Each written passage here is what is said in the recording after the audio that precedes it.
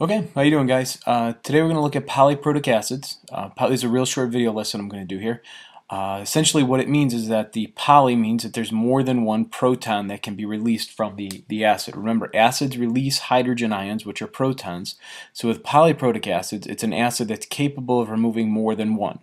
And you can typically tell that because you have a, a you know hydrogens in the front with a 2 or a 3. Um, you know, that, that tell you that those are the hydrogens that are ionizable. Most likely the hydrogen in the front is the one that's going to be ionizable in, in the acids that you're given. We'll talk more about in the next lesson uh, maybe not the next one, but an upcoming lesson I'll talk about um, which hydrogens come off and which ones stay behind. Uh, just keep in mind that when you're doing this, you want to you want to bring the ions off in, in successive steps. You don't want to do this all in one shot. So you're going to do this in multiple steps. So for carbonic acid, you're going to take off one hydrogen ion and then a second hydrogen ion. So you can treat this as if it were two separate acids. Okay, each one having its own Ka, so this would be Ka1 for the first hydrogen and a Ka2. Uh, and keep in mind that this one is always stronger than the second one. Okay, because remember the definition of an acid that we're focusing on is the fact that it loses a hydrogen ion. So the one that loses the hydrogen ion easiest is the one that's considered the strongest, right? So that's what we're talking about with with the uh, uh, acids here. So Ka1 would be smaller okay? Well actually a bigger number I guess I should say. It's going to be a larger number than the second one because that one's easier to remove. Again we'll explain why in an upcoming later lesson. So really not much that they do with these polyprotic acids. Um, the most complex thing would be just to figure out the pH and your pH is always going to be dominated by your strong one. So for pH use the stronger of the two, so that would be your Ka1.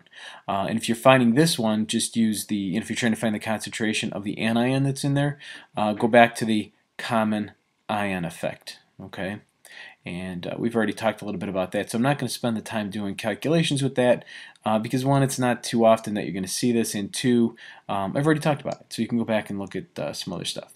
The last thing I want to talk about with polyprotic acids is the sulfuric acid. This is the only polyprotic acid that's truly considered strong. Okay. Now remember, there's seven strong acids that you should know, and sulfuric acid is one of them.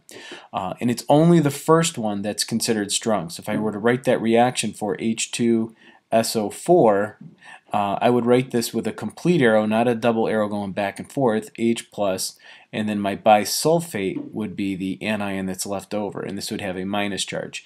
The Ka here, for the first one, there, there really is none. It's kind of pretty much undefined.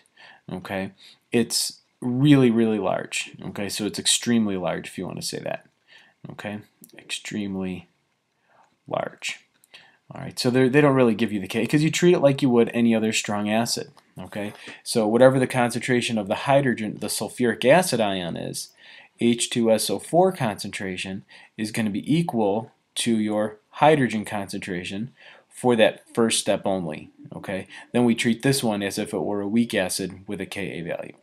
And that's pretty much it. And again, just like we said before, this uh, first one would control the pH and you would do another common ion effect if you were to try to find the concentration of the sulfate ion. Um, and that's it. We'll talk a little bit more about polyprotic acids when we get to titrations, but that's pretty much it for this. So I just wanted to make sure there's a little lesson to, to kind of show you the basics of the polyprotic acids. Thanks a lot.